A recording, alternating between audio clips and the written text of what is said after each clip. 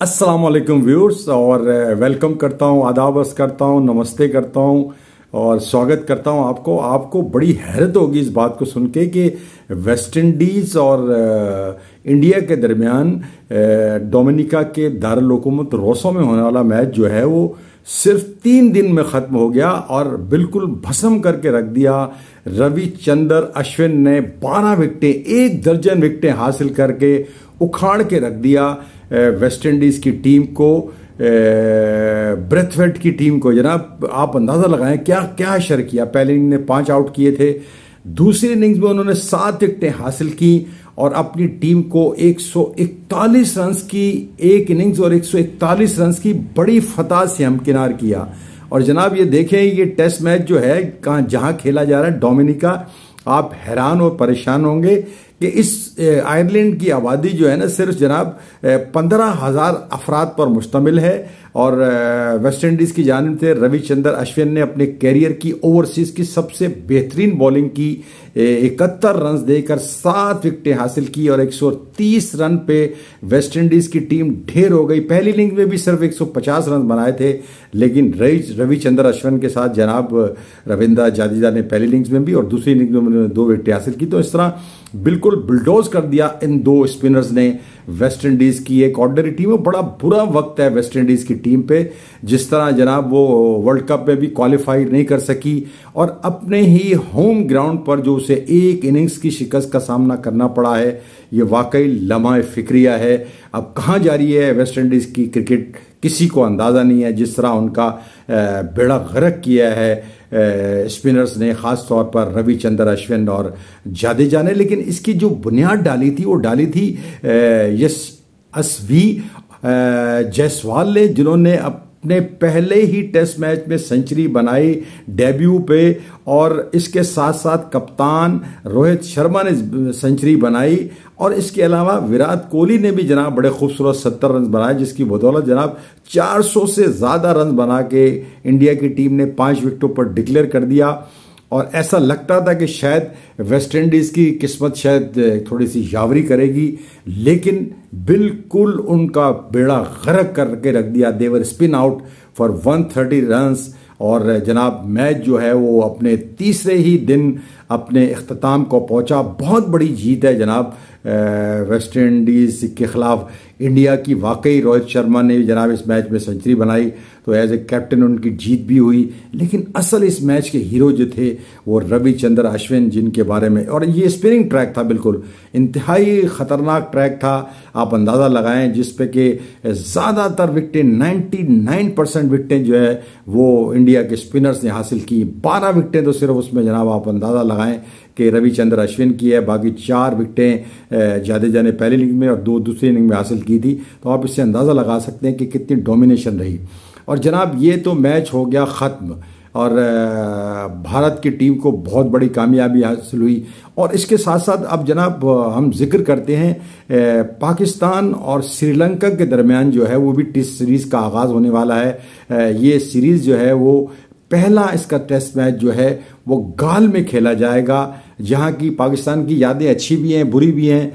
यहीं पे पाकिस्तान ने श्रीलंका को शिकस्त दी थी, लेकिन पाकिस्तान के लिए बहुत बड़ा एक चैलेंज है कि क्या बाबर आज़म अपनी फॉर्म को बरकरार रखते हुए अपनी टीम के लिए अच्छा करेंगे। उसके साथ उनके इमामुल्ला के उनके साथ अब्दुल्ला शफीक है, जिन्होंने पिछले दौरे में बड़ा अच्छा किया था।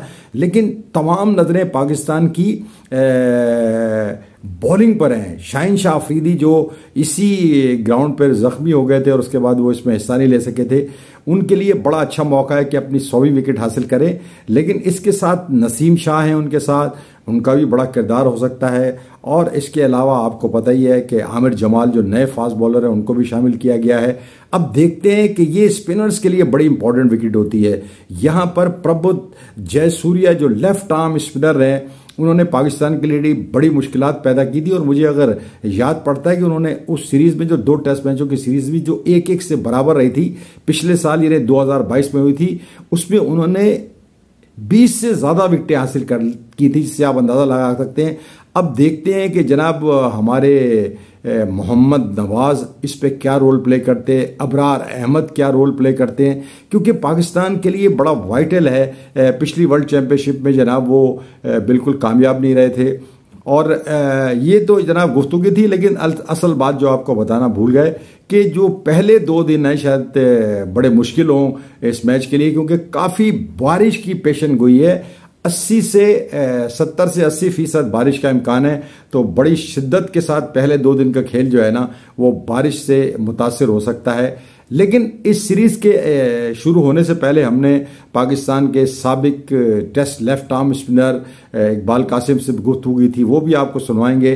और उनके तासरात क्या हैं कि पाकिस्तान क्रिकेट में जो तब्दीली आई हैं, उस पर टीम का क्या असर होता है, उनकी गुफ्तु आपको सुनाएँगे। लेकिन उससे पहले कि हम इकबाल कासिम की आपसे मुलाकात कराएँ हमारी आपसे दरख्वास्त है कि आप हमारे YouTube channel Cric Boom with Ehsan Qureshi को सब्सक्राइब करें, लाइक करें, अपने दोस्तों में कमेंट करें। हम आपके लिए बहुत अच्छे अच्छे प्रोग्राम आने वाले दिनों में लेके आ रहे हैं। आप यकीनन उससे महसूस होंगे।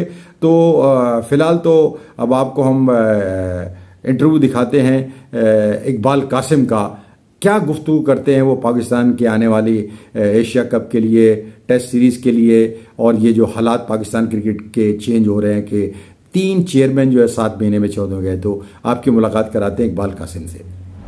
अस्सलाम वालेकुम मैं हूँ एहसान कुरैशी, क्रिक बूम विद एहसान कुरैशी के एक नए एपिसोड के साथ, और मेरे साथ मौजूद हैं forward Test left arm spinner chief selector Pakistan cricket board में हर जगह रहे। नेशनल बैंक की क्रिकेट को खड़ा किया as a player as an administrator Pakistan की क्रिकेट जो है ना, उसमें भौचाल आते रहते हैं। अभी एक भौचाल ऐसा आया है कि सात महीने में तीन चेयरमैन चेंज हो गए।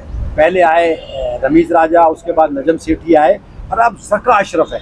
और वर्ल्ड कप जो है, ये सर पे है। एशिया कप जो है, सर पे है। सबसे पहले ये जो सिचुएशन बन रही है ये इसमें एशिया कप पाकिस्तान मेज़बानी कर रहा है। कैसी परफॉर्मेंस रहेगी बाबर आज़म की टीम की रोहित शर्मा के खिलाफ? देखिए, बाबर आज़म माशाल्लाह बहुत ही आउटस्टैंडिंग प्लेयर है। पाकिस्तान ने बड़े दिनों बाद एक स्टार पैदा किया है और हमें उसको जितना भी सहारना चाहिए, उसकी उसकी हौसला अफजाई करनी चाहिए। और बीइंग ए कैप्टन भी, ज़ाहिर है वो एक एक आदमी अगर परफॉर्मर होता है तो इंस्पिरेशन आ ही जाती है। तो जो उसके साथी प्लेयर्स हैं वो उसके गिर्द पूरी टीम घूम रही है। अभी, जब तक वो फॉर्म में है, माशाल्लाह अल्लाह करे फॉर्म में रहे। तो सिलसिला जो है, वो उसको देखकर वो परफॉर्मर दूसरे जो परफॉर्मर हैं, वो भी अच्छा अच्छा नहीं ये ये कि सर बाबर आज़म ग्यारह की टीम होनी चाहिए आपको दूसरे तीसरे चौथे बैटर कौन से नज़र आते हैं पाकिस्तान को आगे अच्छा है। रोहित शर्मा का मुकाबला करेंगे शुभमान गिल का मुकाबला करेंगे सूर्या कुमार का मुकाबला करेंगे हार्दिक पांड्या का मुकाबला करेंगे वो कौन है?